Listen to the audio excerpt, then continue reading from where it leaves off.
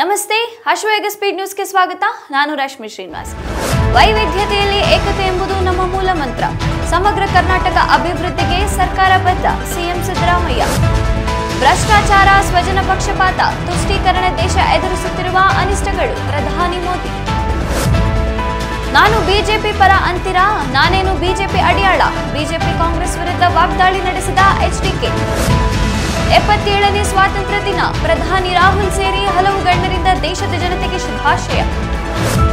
ಇನ್ಮುಂದೆ ಅನಧಿಕೃತ flex banner ಅಳವಡಿಸುವಂತಿಲ್ಲ. ಕಂಡರೆ ಐವತ್ತು ಸಾವಿರ ರು ದಂಡ, ಬಿಬಿಎಂಪಿ ಆದೇಶ. ಐಪಿಎಸ್ ಸೀಮಂತ್ ಕುಮಾರ್ ಸಿಂಗ್ಗೆ ಸ್ವಾತಂತ್ರ್ಯೋತ್ಸವ ಪ್ರಯುಕ್ತ ವಿಶಿಷ್ಟ ಸೇವಾ ಪದಕ ಘೋಷಣೆಯಾಗಿದೆ. ಒಟ್ಟು ಹದಿನೆಂಟು ಹಿರಿಯ ಅಧಿಕಾರಿಗಳಿಗೆ ಸೇವಾ ಪದಕಗಳನ್ನು ಘೋಷಿಸಲಾಗಿದೆ.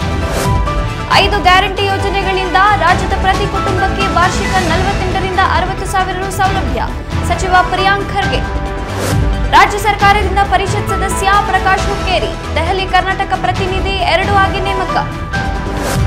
ದೇಶದಲ್ಲಿ ಜನೌಷಧಿ ಕೇಂದ್ರಗಳ ಸಂಖ್ಯೆಯನ್ನು ಹತ್ತು ಸಾವಿರದಿಂದ ಇಪ್ಪತ್ತೈದು ಸಾವಿರಕ್ಕೆ ಹೆಚ್ಚಿಸಲು ಸರ್ಕಾರ ಶ್ರಮಿಸುತ್ತಿದೆ ಎಂದು ಪ್ರಧಾನಿ ನರೇಂದ್ರ ಮೋದಿ ಹೇಳಿದ್ದಾರೆ.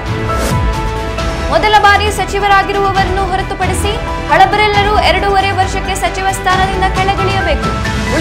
ಅವಕಾಶ ಮಾಡಿಕೊಡಬೇಕು ಎಂದು ಆಹಾರ ಮತ್ತು ನಾಗರಿಕ ಪೂರೈಕೆ ಸಚಿವ ಕೆಎಚ್ ಮುನಿಯಪ್ಪ ಸಲಹೆ ನೀಡಿದರು. ರಾಜ್ಯಸಭೆಯ ಮಾಜಿ ಸದಸ್ಯ ಪ್ರೊಫೆಸರ್ ರಾಜೀವ್ ಗೌಡ ಅವರನ್ನು ರಾಜ್ಯ ಯೋಜನಾ ಮಂಡಳಿಯ ಉಪಾಧ್ಯಕ್ಷರನ್ನಾಗಿ ನೇಮಿಸಿ ಸಿಎಂ ಸಿದ್ದರಾಮಯ್ಯ ಆದೇಶ ಹೊರಡಿಸಿದ್ದಾರೆ.